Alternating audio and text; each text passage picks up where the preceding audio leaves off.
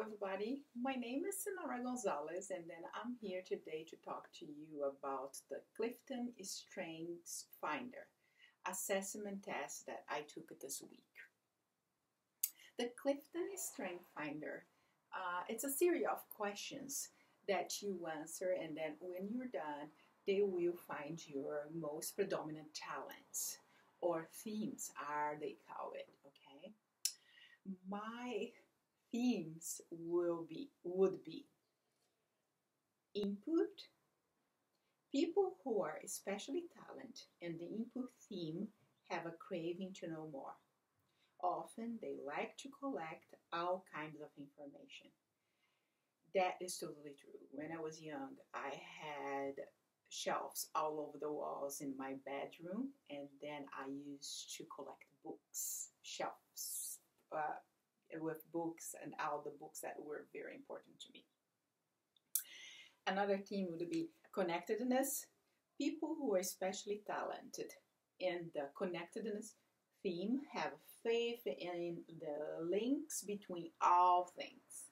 They believe there are few coincidences and that almost every event has a reason. I always believe that all things in the universe are connected. Another theme would be empathy. People who are especially talented in the empathy theme can sense the feelings of other people by imagining themselves in other lives or other situations. My motto is always put yourself in other people's shoes. Okay, I always done that. The developer People who are especially talented in the developer theme recognize and cultivate the potential in others. They spot the signs of each small improvement and derive satisfaction from these improvements. I love to see my students learning. I love to help people and see they achieving things. I'm also an achiever People who are especially talented and achiever theme have a great deal of stamina and work hard.